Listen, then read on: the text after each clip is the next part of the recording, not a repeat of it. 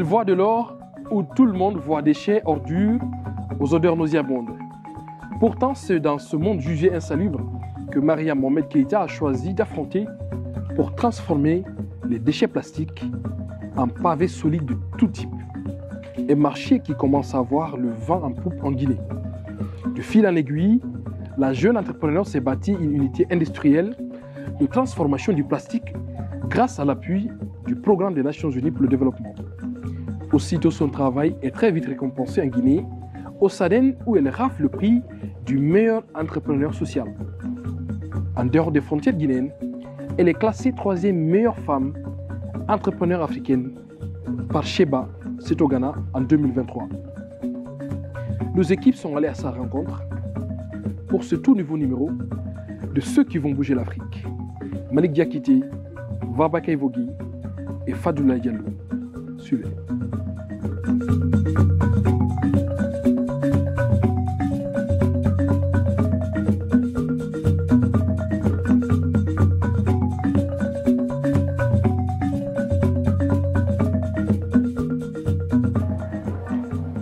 Au premier lueur du jour, Maria Mohamed Keïta rejoint sa petite unité industrielle implantée à quelques encablures de son habitation. C'est un jour très chargé qui s'annonce pour elle. La jeune entrepreneur doit boucler des commandes pour des clients. Ces pavés sont très particuliers et uniques. Ils sont fabriqués à base de déchets plastiques mélangés avec du sable.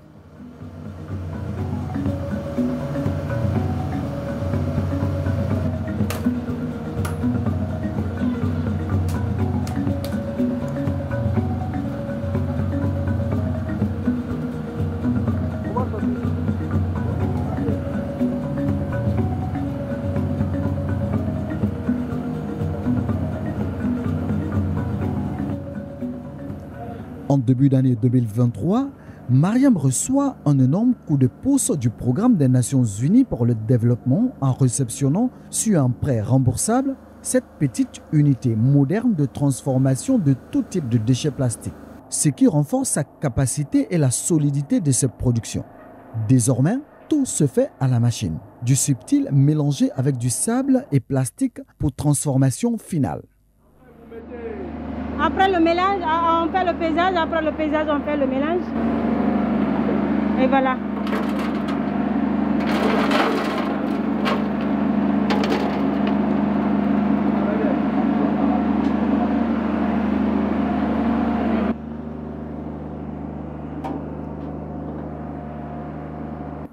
Cet homme a pu succéder à une renommée déjà bien construite localement. Mariam a collectionné des prix. D'abord au Salon des entrepreneurs de Guinée en 2018, ensuite au Ghana où elle est classée troisième meilleure femme entrepreneur africaine par Shiba. Mais les choses n'ont pas été tout de suite faciles pour la diplômée en économie et gestion de l'université guinéenne. Mariam s'est vue refuser plusieurs fois même les simples stages dans les organisations avant que l'idée de transformer les déchets plastiques qui polluent Conakry lui traverse la tête.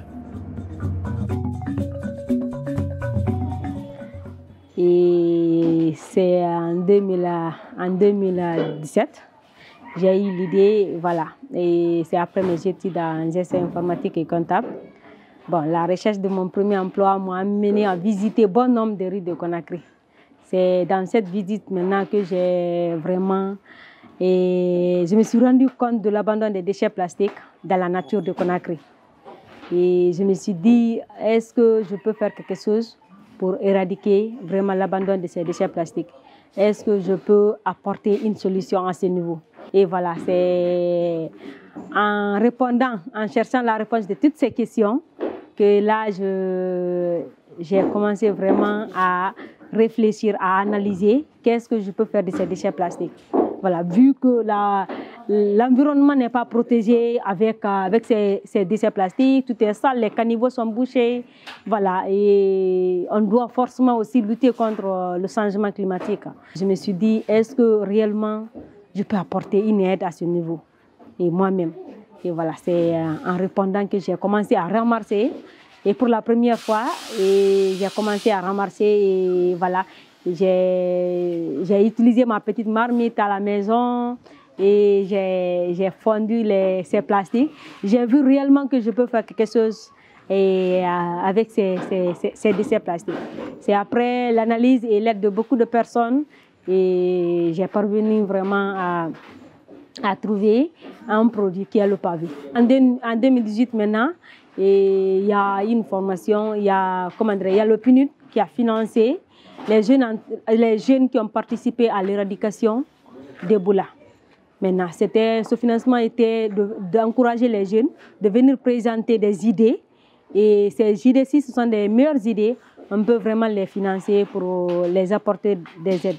Et moi, c'est à travers cette opportunité voilà, que là, que nous avons suivi des formations. Cette formation nous a dit que l'entrepreneuriat, c'est d'avoir une, euh, c'est de tirer une opportunité dans une frustration.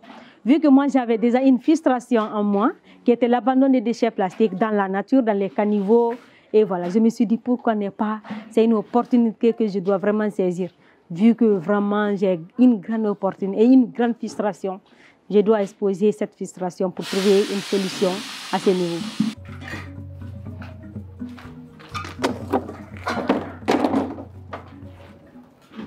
De fil en aiguille, avec beaucoup de courage et de résilience, ce qui semblait impossible hier le devient. Depuis 2018, son projet a vu le jour dans la haute banlieue de Conakry. Aujourd'hui, elle emploie une dizaine de personnes et voit son horizon s'éclaircir. Dame Keita fait de la lutte contre la prolifération des déchets plastiques à Conakry un défi environnemental au-delà d'être devenu pour elle, en même temps, son gagne-pain. Au début, je me suis dit, est-ce que quand je les ramasse, il faut les brûler? Et quand je les brûle encore, ça devient pire. Et je me suis dit, est-ce qu'on peut faire quelque chose, transformer peut-être en argent. Parce que si on fait des produits et on arrive à acheter ces produits, c'est de, cela veut dire c'est transformer en argent. Et je me suis dit, est-ce que ce sont vraiment des, des, déchets, comme on le dit. Est-ce que c'est -ce en cherchant la réponse de mes questions? Et je me suis vraiment et j'ai vu maintenant que réellement, on peut faire de l'argent avec, en produisant assez de choses avec ces déchets plastiques. Et on était à trois, on a commencé. Maintenant, quand on a commencé maintenant à, recevoir des petits contrats, et surtout venant, c'était à, Denabel, et euh, avec leur projet Sanita Ville Propre, qu'ils ont su grâce à nos publicités sur euh, les réseaux sociaux. Ils ont su aussi grâce eh, aux personnes de, bonne volonté qui les a indiqués là où nous sommes. Ils sont venus jusqu'ici et voilà, ils sont venus nous trouver. On nous a demandé ce que nous faisons. On les a dit et ils ont dit OK, voilà. Et nous, on peut vous acheter pour vous encourager et aussi pour vous vraiment, eh, parce que plus vous, vous transformez les déchets plastiques, plus la ville est propre. Parce que tout ce que vous ramassez, ça ne va plus jamais se retourner dans la nature. Et voilà, pour vraiment vous encourager, nous, on vous garantit de, faire les commandes. Et c'est voilà, leur commande toujours. Et voilà, nous avons commencé maintenant à produire. Avec ce, cet argent, on a commencé maintenant à recruter, à recruter des jeunes qui sont venus. Et j'ai vu vraiment deux choses dedans. J'ai vu, premièrement, que je suis en train d'assainir ma ville. Et deuxièmement, et je suis aussi en train euh, d'employer de, aussi. Voilà, ça diminue aussi le chômage. Il y a des jeunes qui sont là aujourd'hui, grâce à nos petits moyens, et ils arrivent à subvenir leurs besoins. C'est vraiment une chose que vraiment j'ai aimé depuis à l'enfance. J'ai toujours voulu vraiment créer de l'emploi.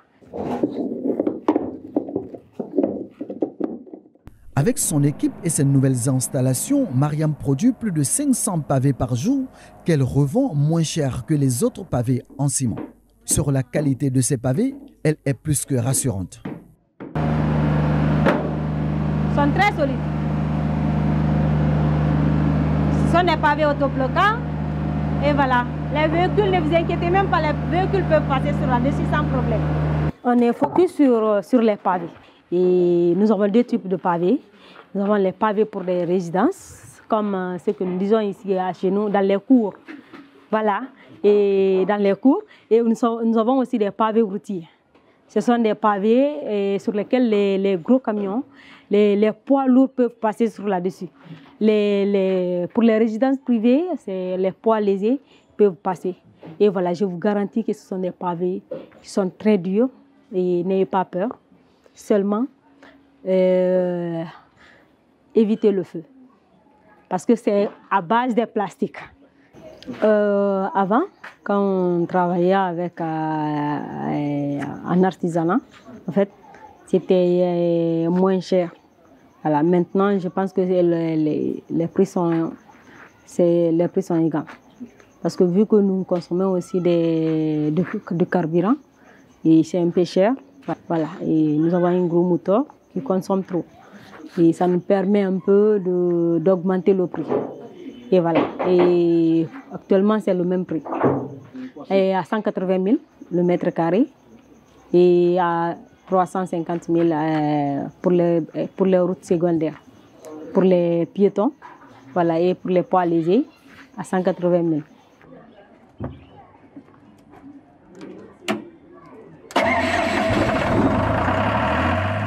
Certains de ses employés ont entamé avec elle depuis le début cette aventure.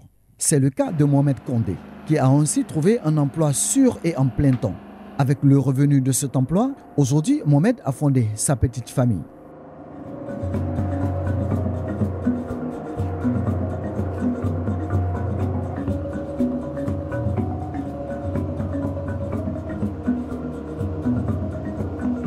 Euh, en fait, euh, j'étais étudiant. Je ne faisais rien. J'ai étudié à Kindia. Euh, c'était dans, le congé. Je suis venu ici. Je me suis croisé avec la dame. C'était le deuxième jour de son travail ici. Je l'ai vu en train de travailler. Ce qu'elle faisait, ça m'a plu. J'ai vu réellement que ça, ça contribue au développement de mon pays, à la euh, propriété de mon pays. Je, me suis, je suis venu auprès d'elle. J'ai tiré la connaissance entre nous. Et puis ces jours-là, j'ai commencé à travailler ici. Après les études en 2019, j'ai commencé à travailler, j'ai continué à travailler. Euh, aujourd'hui, c'est dans ce travail-là que je me suis marié. C'est dans ça que je nourris ma famille. Je ne connais aucune autre activité à part de ça. Pour satisfaire les clients, si un client vient, on va lui montrer les produits. Si euh, le, les produits lui conviennent, on va le dire. C'est un produit, on ne doit pas mettre le feu sur le produit parce que le, feu et le sable euh, et le plastique ne sont pas d'accord. Quand tu mets du feu à côté, ce n'est pas du tout bon. Donc, il faut toujours éviter de mettre du feu.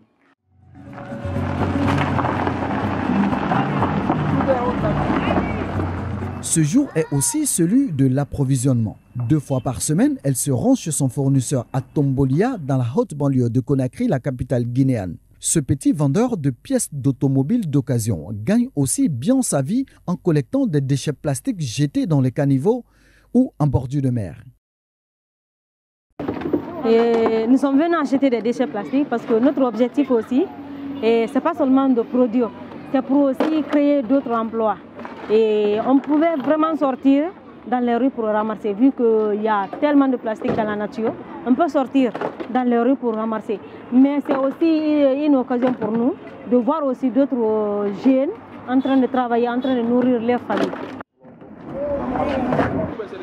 Bon, c'est nous, moi-même, qui allé ramasser avec ma voiture. Voilà ma voiture qui est arrêtée là. J'allais garer, j'ai ramassé beaucoup même, j'ai mis dedans. Il y a les gens même qui viennent me dire, ah, toi, tu es un fou, ben quoi? J'ai dit, ah, je suis un fou. Puisque quand tu es, en train de charger l'argent, il faut devenir fou. Donc, euh, si tu as gagné, donc maintenant, tu devrais un bon, un bon, un bon mogo. Seau, casier, bâche. Mariam s'offrira 35 kilos de déchets plastiques pour une somme environ 200 000 francs guinéens des petits frais qu'elle pouvait éviter en s'approvisionnant directement dans les montagnes d'ordures ou en bordure de mer à travers la capitale guinéenne. Mais la jeune dame veut faire profiter des autres les retombées de son activité en créant une chaîne de valeur. Euh, c'est combien? C'est bon, environ 200 000. Hein? 200 000. Oui.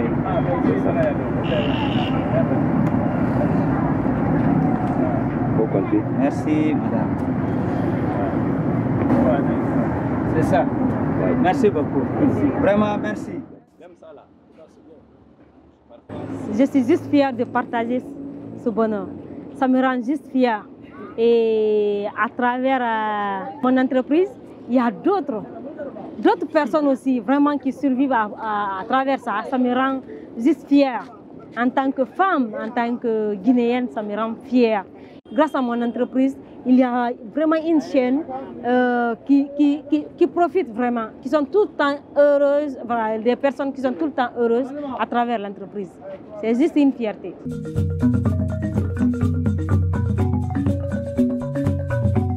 Cette provision lui suffira pour quelques jours avant de revenir chez son fournisseur. Maria Mohamed Keita a une commande de pavés à livrer à l'agence belge de développement Enabel dans le cadre de son projet Sanita Ville Propre. C'est son plus gros contrat depuis ses débuts. L'organisation belge lui promet des achats fréquents pour ses multiples projets, ce qui assurera à l'unité industrielle de Mariam une garantie financière.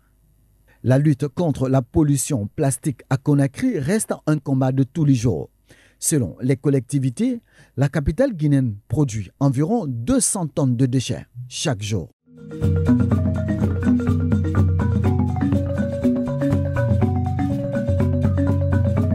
Mesdames et messieurs, c'était tout pour ce nouveau numéro de Ceux qui vont bouger l'Afrique. Merci à tous de votre aimable attention. À très vite d'autres numéros.